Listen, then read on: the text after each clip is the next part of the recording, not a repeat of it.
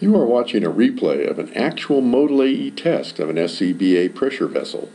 The early part of the test is being played back at 10 times normal speed because the test normally takes about an hour. The pressure is represented by the red line you see rising in the graph at the left and also in the lower right corner below the waveform window. The yellow squares represent the background energy. The first pressure hold is at 4500 psi which is the normal operating pressure of an SCBA. Next comes the 7500 psi test pressure. Events occur more rapidly and the background energy increases. As the 7500 psi level is reached, the background energy begins to oscillate. This means for this type of SCBA that the vessel will fail before the expected minimum burst of 13,500 psi. Notice the rate slows down and the background energy level drops during the pressure hold. This is a good sign. Another type of graph, not shown here, called a stability graph, indicates that the vessel is not progressing to failure at test pressure. Modal AE works by detecting ultrasonic waves produced at fracture sites within the composite material. Much like earthquake waves, modal AE waves propagate through the vessel to transducers that are attached to the surface. The waveforms recorded and are then analyzed for certain speed, energy, and frequency characteristics that reveal the type of fracture. For example, a fiber tow fracture or a fracture in the epoxy resin. More and more fractures occur in the material as the pressure increases, and at some point the vessel begins to fail and approaches final rupture of the material. Prior to rupture, there is an interesting effect that occurs in all composite vessels called background energy oscillation. Composite failure is progressive. Stress concentrations are created as weaker fibers break. As fibers break, the load they were carrying redistributes to neighboring portions of strong material. This is called local load sharing. It's like having multiple ropes holding up a swing. If one breaks, the remaining ropes carry the load. The fibers used to make the composite materials are extremely small, about 10 microns in diameter. So there are usually numerous small fractures before a large fracture occurs.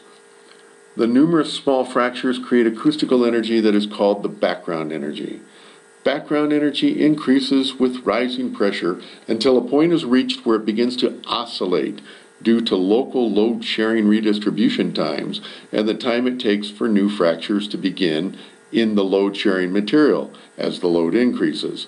Oscillation usually continues until final rupture, but the nice thing is that the pressure at which oscillation begins is a definite percentage of burst pressure. The percentage of burst pressure is calibrated by testing similar vessels.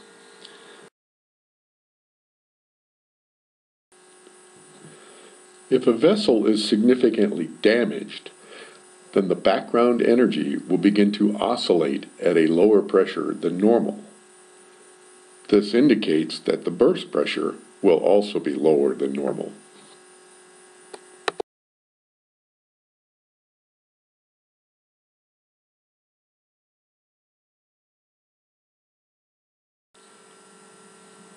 The next part will show the vessel in the burst chamber.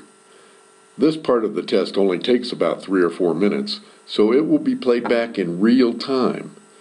First, as the pressure starts from zero, we see the usual flow noise. Then everything is very quiet until the pressure goes above about 8,000 psi. Before we get to that point, we will say a little more about the vessel. The vessel is surrounded by the test stand and the transducer is attached at the upper part of the cylindrical section.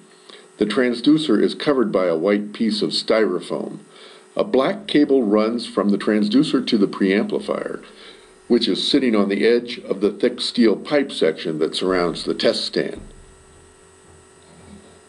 There is a large notch in the middle of the vessel oriented in the axial direction. The notch is very deep, running halfway through the composite thickness.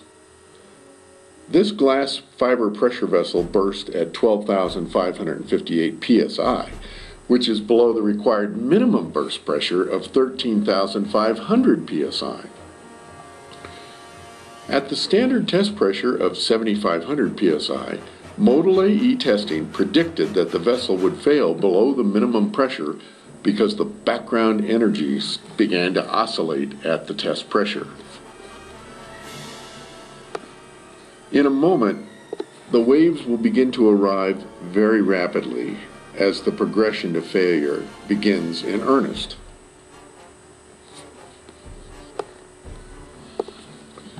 Note the energy in the waves is much higher now, and the background energy oscillation has commenced.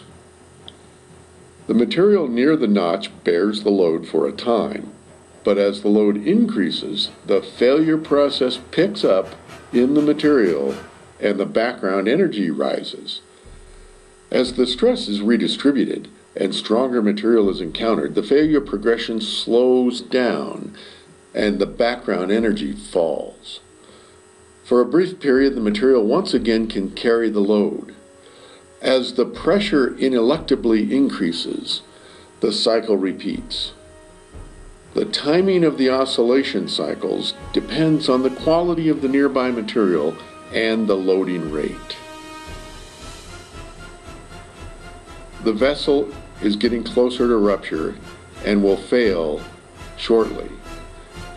The background energy makes one final rise.